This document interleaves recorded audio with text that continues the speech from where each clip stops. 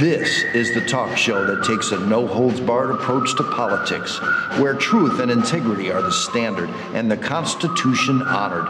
From Renaissance Studios, this is Champion News Talk Radio.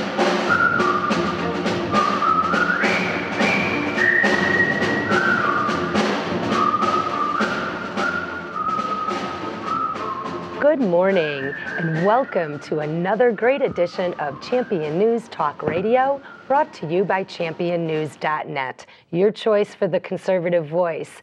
We'd like to wish you a very happy new year and a very special new year it is. It's 2012, and 2012 is the year for a conservative victory. This is Carol Parisi, and today our founder, Jack Roeser, and myself have the privilege to have Peter Breen with us as our guest from the Thomas More Society and also a Village of Lombard, Lombard trustee. Uh, good morning, Jack. Happy New Year. How are you on this 2012? Well, uh, looking forward to uh, a uh, challenging and hopefully victorious year. Uh, uh, after all, we live in Illinois, and uh, I don't want to see any more of these uh, little uh, things that are supposed to be some reform of education, but as been in the past year, uh, we're just useless. Uh, you have the most miserable amount of failure that anybody could want as an opportunity to do better. We are the most bankrupt state of the 50. Oh, Obama says 57. Sorry, that's Arabs. Uh, and uh, we also uh, are, are um, uh, the uh, most crooked state, crooked and deep, deep in depth.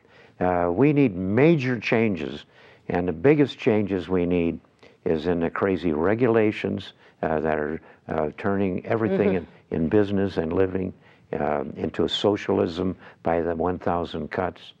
And the other thing is our education system, if you just took a third of the cost out of it, which wouldn't be enough because it is wasteful stem to stern. It has been destroyed by the IEA and the other teacher unions. It is the biggest mess in the world, and it's ruined the, the the, uh, found the money, uh, the pensions have bankrupted the state already. The, the teacher unions have ruined the political system. They are the biggest 800 pound gorilla that there is down in Springfield. They run those guys. Madigan, you're a pussy cat. You listen to the union and you carry the mail for them. We got to get rid of those two things. There's a lot to do this year. A lot to and do. And if it isn't done, we're going to lose the opportunity to ever do it. We must- Because these guys are on the march to total social, socialism. Yep, yep. Bureaucratic socialism, and yes, we need the conservatives Am I, and the am I patriots some need to kind of a, of a, of a right-wing nut uh, No, you're not a wing proposing something that isn't so? Uh, just because I've been saying it for, well, more than half a century. Uh, there was a newspaper article about me recently uh, uh, that said, uh, maybe the old bastard has been right all along. Can we say that on Sunday morning radio? Uh, Yeah. Peter. It was New in the Year's, newspaper. it's New Year's Day. Everybody gets a little attitude on New Year's Day. Yeah, well, let's see if everybody's even up and Happy morning. New Thank Year you to for waking you. up. Happy New Year to Jack. I don't mind That's being called Michael it. Brown. Michael. Yes, I sit 20 feet from away from you every single week, and you never introduce I never me. introduced Michael Brown. But it's New Year's Day, and so we're turning in. Your New Year's resolution is to start introducing me. Okay. Ladies and gentlemen, Michael Brown, Ta-da. the voice behind the microphone and does all the magic with I was the- always happy about a new year until Jack started bringing up all the reasons that we have a lot of work to do this year. Mike Well- here uh, has done a fantastic thing. Uh, this setup is all his creation, and uh, it, this is a uh, four-camera setup. This is a sophisticated studio, and entirely due to the great knowledge of a fellow who also happens to be a very sensible conservative. Well, with Uh, the- Mike Brown. Uh, uh, Thank you you, want sir. a New Year's baby? You've been at this a while. Yay, Michael. With the conversations that we have, it it, it really deserved this type of uh, Oh, of, yeah. of platform. Well, it's a, it's a great uh, message that we're bringing out. People ought to see us as well as hear us. yeah, go to our YouTube's channel. What's the YouTube channel, Michael? Uh, it's uh, Champion News Online. Champion News Online. You could view all of these and also listen to podcasts. But we have or, Peter. or it can be viewed on Champion News. Dot net. Uh, that's our Dot net. website. That's Yep. a, a profit and loss uh, business, and uh, it uh, so therefore it can speak out on the people in politics, the money in politics, and all the rest of the grimy scene. We can say as much stuff as would the uh, Chicago Tribune if they had the sense to do it. Under the First Amendment, right? Yep. Correct? Peter, Right. um, you're with the Thomas More Society and you're also a Village of Lombard trustee. Uh, thank you for joining us today. Tell us a little bit about the Thomas More Society, what you do. And I know before we came on air this morning, you and Jack had some phenomenal conversations. so tell us a little bit about yourself. Well, it, it was interesting we mentioned the First Amendment because most of the litigation that we do, we're practicing attorneys. We go to court all across the country. It's a Thomas More Society. it's Thomas a More national Society. organization. Right, but we Okay. are headquartered in Chicago. Oh. And we are, we're, so we're local here, even though we do cases around the country. Uh, we focus on the First Amendment. So a lot of uh, defending of activists. In our cases, usually defending folks who are activists on pro-life issues or pro-family issues. But at the same time, we also will help Tea Party groups at times.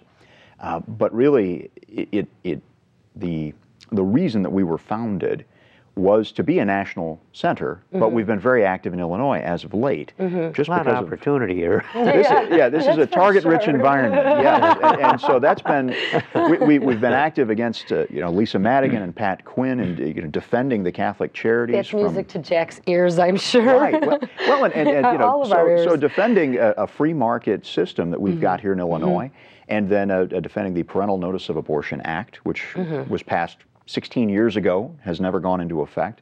Uh, we're in the midst of that, and we've got lots of other issues too out in Rockford and Aurora and other places, along with around the country. Uh, so that the Thomas More Society really serves the interests of life, family, religious liberty, but really focusing on that First Amendment. What I'm hearing here are value-based attorneys of integrity. Well, See, this is a good You judge the integrity because. I, I, I've always been told, you know, you, if a guy says he's the honest guy, then run. You know, watch yourself. So that's But no, I mean, it seems like the values that your organization and it's it, it's an it, it's attorneys, it's it's a law society. These the values show integrity and Americanism. sure. Well, and, and there are plenty of groups of lawyers around the country, and sometimes they'll call themselves St. Thomas More societies, and they they may put on a service once a year, and they may have a brunch or what mm-hmm, have you. Mm-hmm. We're attorneys who practice law in the courts. Suing Planned Parenthood and the ACLU, and then defending those who are being attacked by the government. I mean, whether it's Eric Holder or Lisa Madigan, or some local municipality somewhere in, in North Carolina, uh, where we've been recently. What's the um, the most current thing you're working on that our listeners need to hear about? Well, uh, right now, the Illinois Supreme Court just took the appeal in on the issue of the Illinois Parental Notice of Abortion Act. So you will see in 2012 argument and likely a decision on whether our state, the only state in the Midwest without any sort of parental involvement in and a child's abortion decision, you will see whether our state can impose this regulation that says if you've got a 14-year-old who's going to go have an abortion, that their parents should be told first. I mean, this is a huge issue of, of parental rights, which is something we've seen you know, attacked in this state as of late uh, with the homeschool regulations.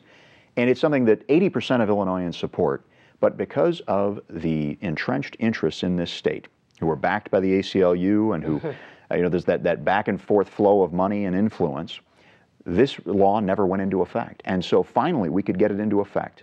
Was, wasn't this passed in the legislature? 1995, signed by pro choice Governor Jim Edgar at the time.